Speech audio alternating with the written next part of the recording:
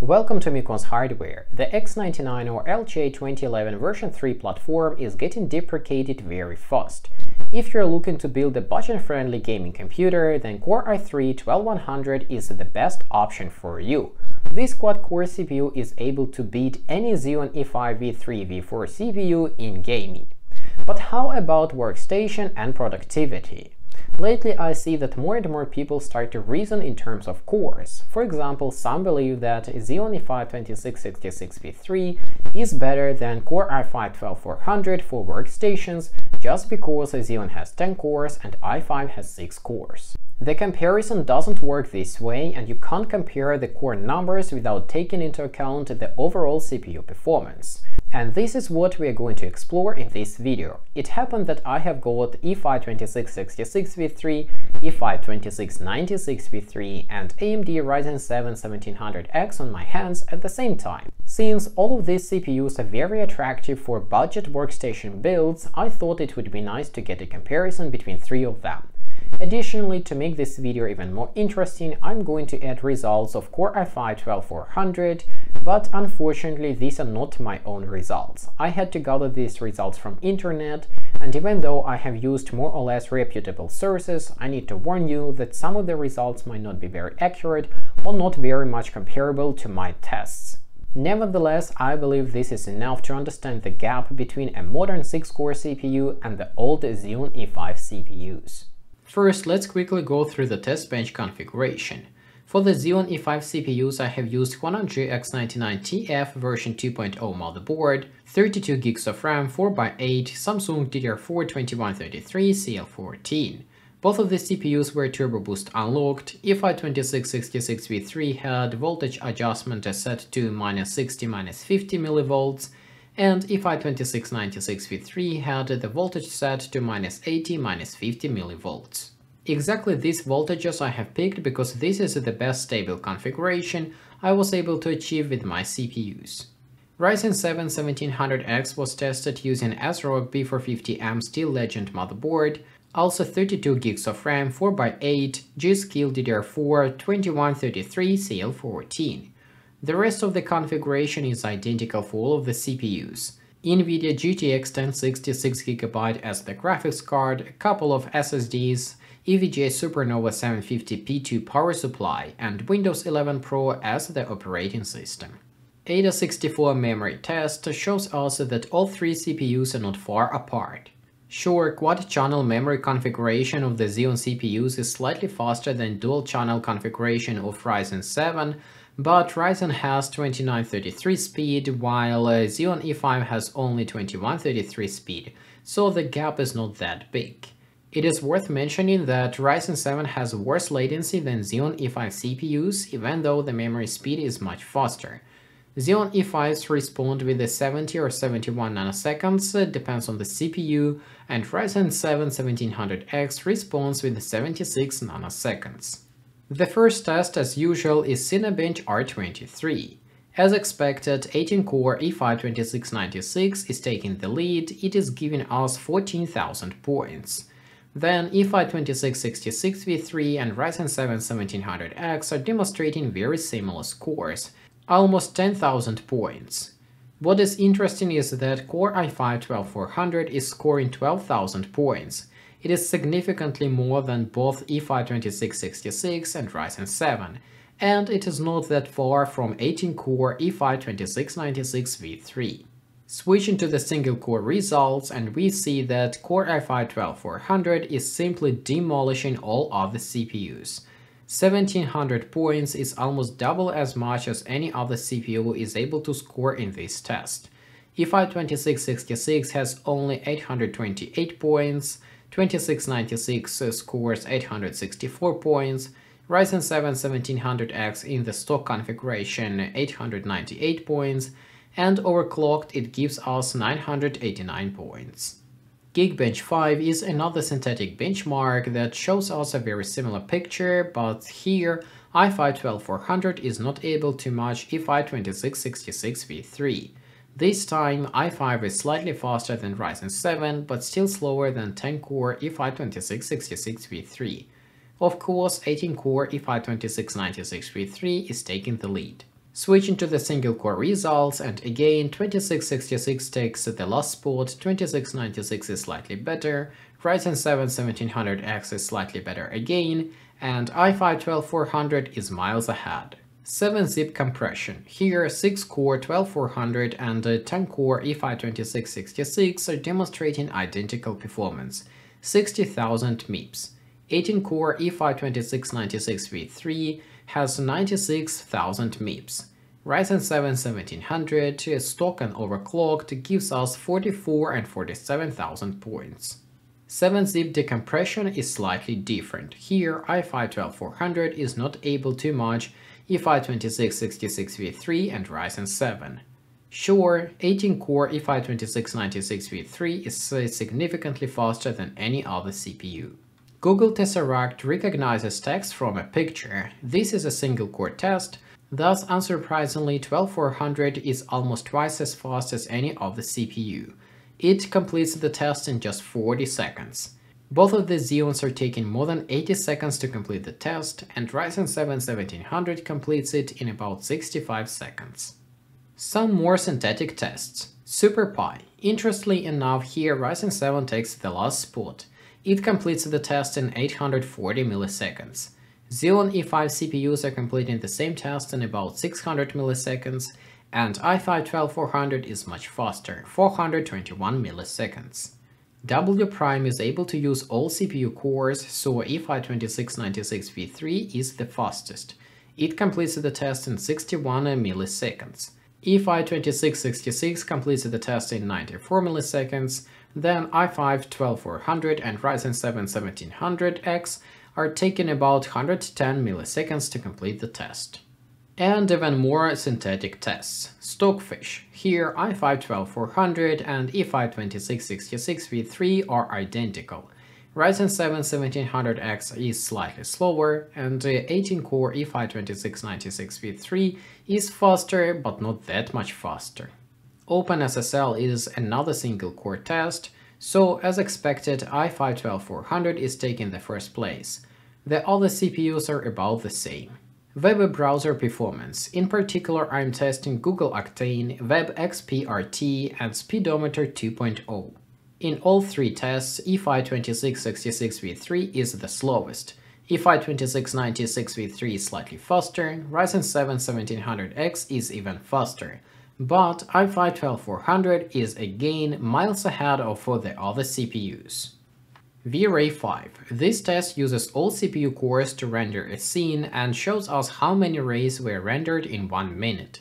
E5 2696v3 takes the lead, it scores more than 11,000 rays. On the second place we find i5 12400 which is able to render 9300 rays, which is rather surprising because E5 2666v3 and the Ryzen 7 1700X are only able to render somewhere around 7600 rays.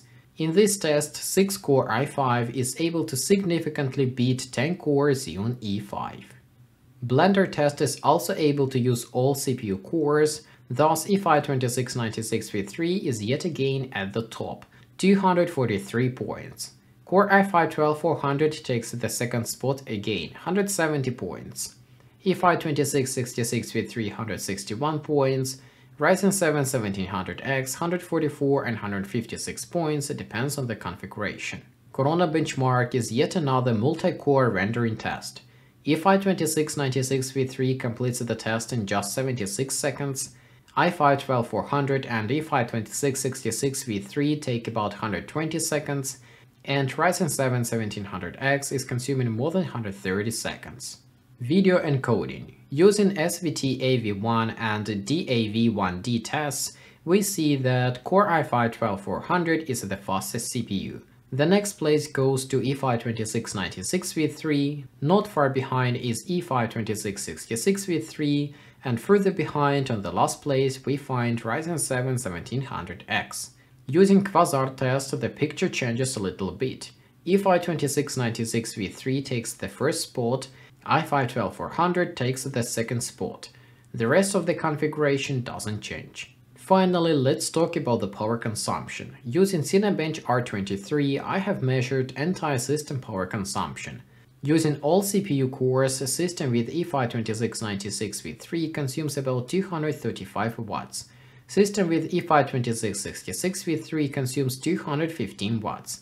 You may ask how this happens that 10 and 18 core CPUs are consuming roughly the same amount of power, and I will answer. Both of these CPUs have TDP limitation of 145 watts. Overclocked Ryzen 7 1700X is taking about 204 watts, stock configuration of Ryzen 7 1700X is 170 watts, and Core i5-12400 is only 161 watts. Switching to the single core results, I unfortunately do not have uh, the value for i5-12400 because I didn't find it online, but I have tested my configurations. E5-2696v3 system consumes 100 watts, E5-2666v3 85 watts, and Ryzen 7 1700X somewhere around 75 watts.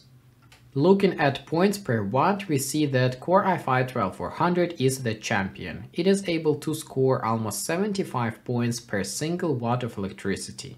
The next place goes to i5-2696v3, it scores about 60 points per watt. Then we have Ryzen 7, stock configuration 52 points per watt, and overclocked 47 points per watt. The last place goes to E5-2666v3, it scores only 45 points per watt. As you can see, Turbo Boost unlocked Xeons pushed to the maximum turbo on all CPU cores are really inefficient. The single core results are slightly different though. E5-2696v3 has maximum turbo of 3.8 GHz and at this speed the efficiency goes away. The CPU scores only 8.6 points per watt.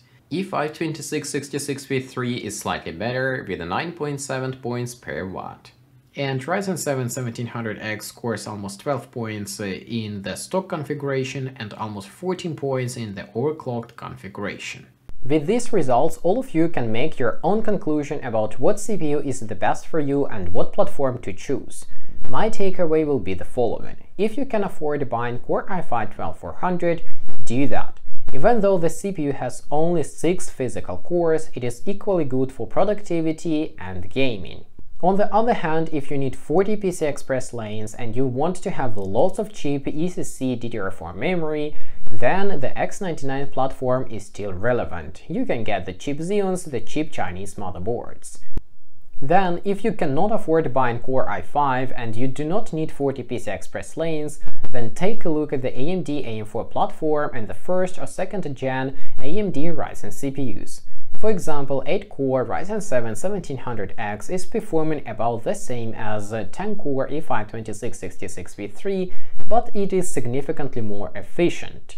At the same time, you're getting a much better motherboard. AMD AM4 motherboards are having upgraded USB connectivity, you're getting an official motherboard with official support, official drivers, much better BIOS, and what's more important, you're getting a very good upgrade path.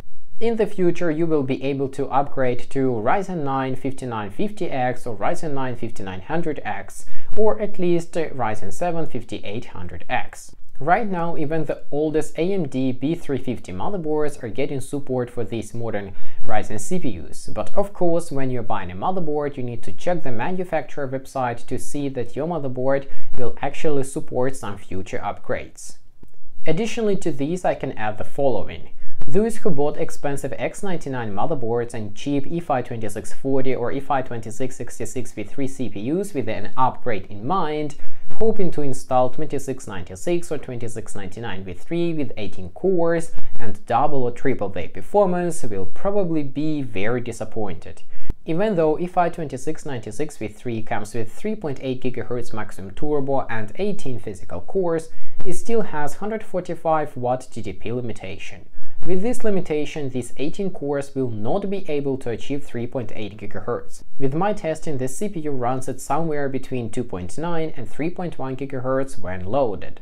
Sure, I have seen those videos where people uh, reduce the voltage even further and demonstrate that E5-2696v3 is able to achieve even higher scores, but I have to say that this is not very correct because the system is not 100% stable in this configuration.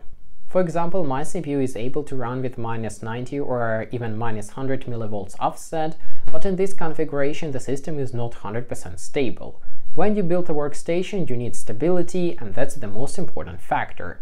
That's why I believe that I need to pick a stable configuration and show you these results.